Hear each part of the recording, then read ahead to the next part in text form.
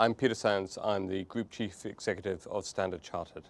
The main commitment we're making this year is a significant expansion of our program to counter avoidable blindness. Seeing is believing.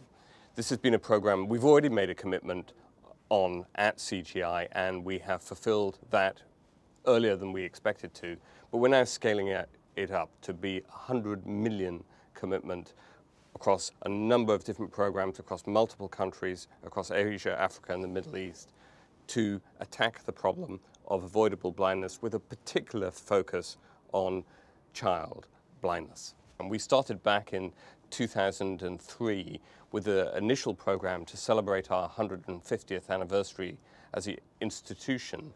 We decided to find ways of fundraising 28,000 cataract operations, one for each member of staff in the bank.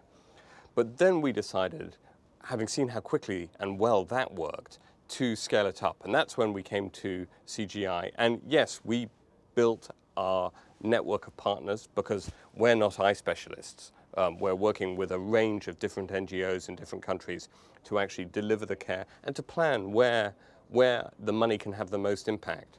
Um, we had a second commitment there, which was about $20 million um, for 20 million people uh, across 20 different cities, again in the developing parts of the world.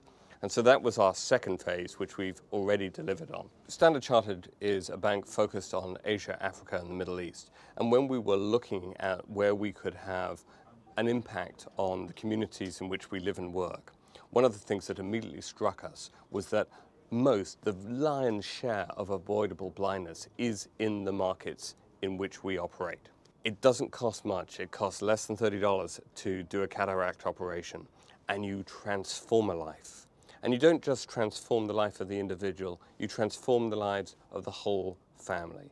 Seeing is believing is something that I think you could pick almost any random person in Standard Chartered and ask them about, and they would glow with pride because it is something that has had a huge impact, that we have 85,000 staff now.